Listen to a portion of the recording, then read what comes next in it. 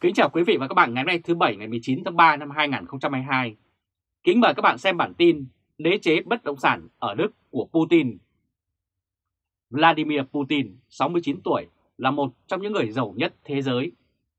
Kẻ chuyên quyền ở Điện Kremlin đã gây dựng nên một đế chế bất động sản khổng lồ và cũng sở hữu những tòa nhà hàng lầu tại Đức.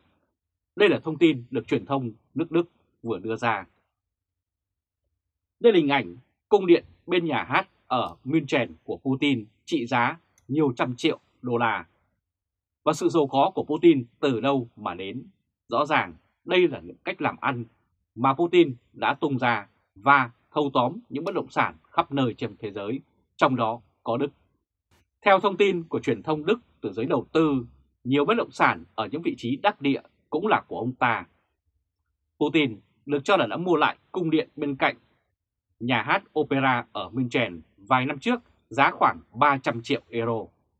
Cũng như khách sạn Sofitel cạnh nhà hát cổ tại Frankfurt là trung tâm tài chính của nước Đức và châu Âu. Putin cũng chấp thời cơ ở Berlin.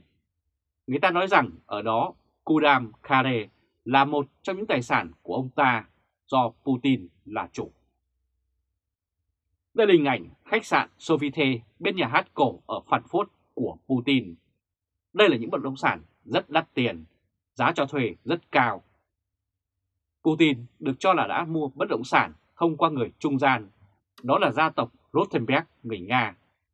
Các công ty hoạt động dưới sự điều hành của Lenhardt Global Investment hoặc Rotech GmbH. Giám đốc điều hành Lila Rothenberg, 43 tuổi. Công ty Rotech cũng sở hữu một biệt thự sang trọng với 1.850 m2 ở Berlin, Schmartdorf, một ngôi nhà hoàn toàn theo sở thích của Putin với hồ bơi rất lớn. Đây là hình ảnh Arkady Rotenberg, người được cho là đã điều hành tài sản của Putin ở Đức. Và hệ thống này hoạt động gần như mafia với việc chuyển tiền từ Nga và các thu nhập khác về Đức để có thể mua bất động sản trong gia tộc của Rotenberg có hai anh em là Akadi 70 tuổi và Boris 65 tuổi, giống như Putin đến từ Giang Petersburg. Họ đã biết nhau từ khi còn là những đứa trẻ, là bạn cùng tập judo thuộc câu lạc bộ Javara News và họ đã cùng nhau giành được sự tôn trọng ở sân sau trong chính trường ở Petersburg. Điều đó gắn kết họ với nhau trọn đời và cho đến nay chính nhờ những mối quan hệ như vậy mà các nhà tài phiệt của Nga tiếp tục giàu có thêm. Đây là hình ảnh tỷ phú Nga Boris, bạn thân của Putin và vợ là Kana Rostenberg, một người rất giàu có. Sau khi Putin lần đầu tiên được bầu làm Tổng thống Nga vào năm 2000, anh em nhà Rotenberg đã thành lập ngân hàng Juvenoy Moscow.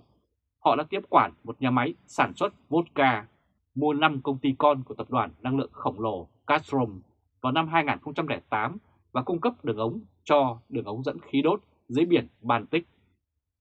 Tài sản của họ theo tạp chí Forbes là 5,4 tỷ đô la, tức là tương đương khoảng 4,9 tỷ euro, và nó cứ tăng lên không ngừng.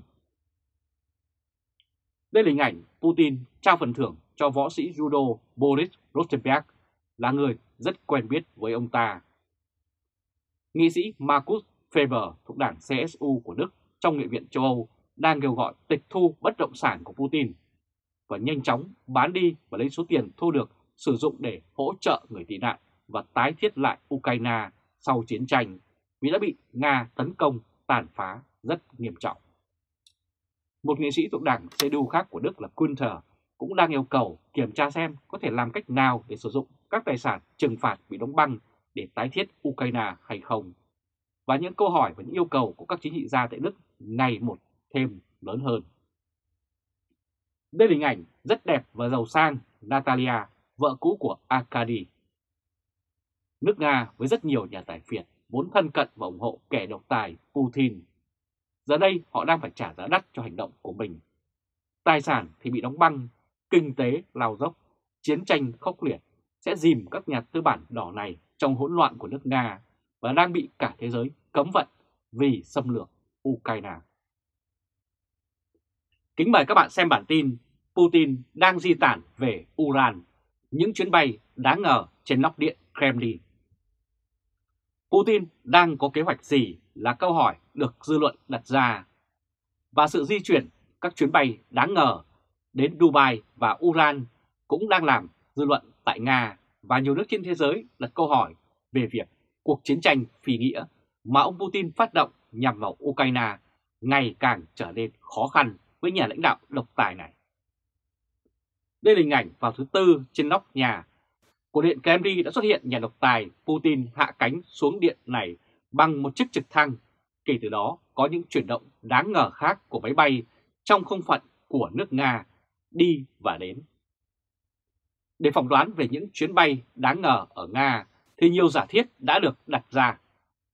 Kể từ khi ông Putin, nhà độc tài của Điện Kremlin bay đến Moscow bằng trực thăng vào thứ Tư, đã có rất nhiều điều xảy ra trên phong phận của nước Nga.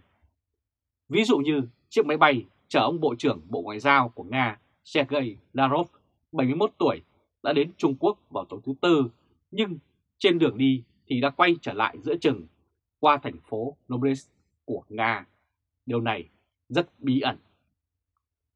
Nếu trong trường hợp có lỗi kỹ thuật thì ông ta sẽ hạ cánh để chuyển sang máy bay khác đi tiếp là điều được đặt ra và đưa ông ta đến hành trình trên đường tới đồng minh rất quan trọng của Nga, đó chính là Bắc Kinh, nơi ông Tập Cảnh Bình đang là chủ tịch. Nhưng điều này đã không xảy ra. Đây là hình ảnh chiếc máy bay chở Bộ trưởng Bộ Ngoại giao Nga Sergei Lavrov trên đường tới Bắc Kinh đã phải quay lại. Hoặc cũng có thể Bắc Kinh đã thay đổi ý định và không muốn tiếp ông này nữa. Đó cũng có thể là điều mà dư luận đặt ra. Và có những chuyển động cũng bất thường khác trong không phận của Nga gây lên lo ngại, hoặc ít nhất là đem đến sự suy nghĩ cho vấn đề này. Thứ nhất là ít nhất có 3 máy bay phản lực tư nhân được cho là của các nhà tài phiệt Nga đã bay từ sân bay Novokol của Moscow đến Dubai. Chúng đã được nhìn thấy ở Iran trên trang web Flight Radar. Điểm thứ hai, đồng thời các máy bay của chính phủ Nga đang phục vụ đưa đón đến Uran và Siberia, bao gồm có Ufa, Novosti và Yumen.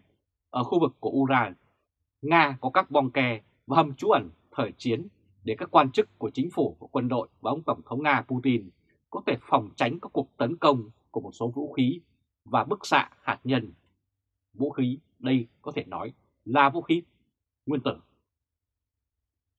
Đây là hình ảnh hầm trú ẩn của Nga tránh bom nguyên tử ở khu vực Ura được thiết kế rất chắc chắn với nhiều tầng lớp bê tông và bọc thép. Tại sao các nhà tài phiệt của Nga và các quan chức cấp cao dường như sẽ rời thủ đô cũng là điều đặt ra. Và điều đó hoàn toàn không rõ vào lúc này. Tuy nhiên, sự chuyển động của những chiếc máy bay của các nhà tài phiệt sang các nước ngoài đã được nhìn thấy.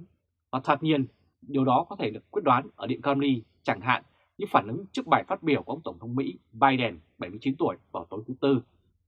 Hoặc cách khác, đó là một động thái nghi binh của Điện Kremlin nhằm đánh lạc hướng khỏi các chuyển động bay bí mật khác hoặc đơn giản là để làm cho phương Tây lo lắng.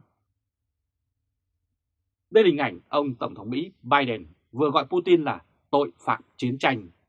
Điều này đã gây ra tác động rất lớn tại Nga vì những phản ứng bất ngờ của nước Mỹ. Chuyên gia quân sự Phần Lan Petri đã viết trên tweet vào trưa nói rằng có vẻ kỳ lạ là giới tinh hoa của Nga đang được sơ tán khỏi Moscow đến một địa điểm an toàn hơn ở Nam Uran. Cũng hôm thứ Hai, Tổng thống Mỹ Biden đã gọi kẻ độc tài ở Điện Kremlin là tội phạm chiến tranh và hứa với Ukraine một gói viện trợ tới 800 triệu đô la Mỹ. Điện Kremlin cho rằng họ đã bị xúc phạm. Song song với các chuyển động bay, các điều gì đã xảy ra trên mặt đất vào thứ Năm? Đó là hạm đội Nga lại xuất hiện trước cảng Odessa của Ukraine trên Biển Đen. Ở đây, câu hỏi cũng được đặt ra là Putin đang chuẩn bị cho một cuộc tổng tấn công lớn vào thủ phủ của Biển Đen hay đó là chiến tranh tâm lý?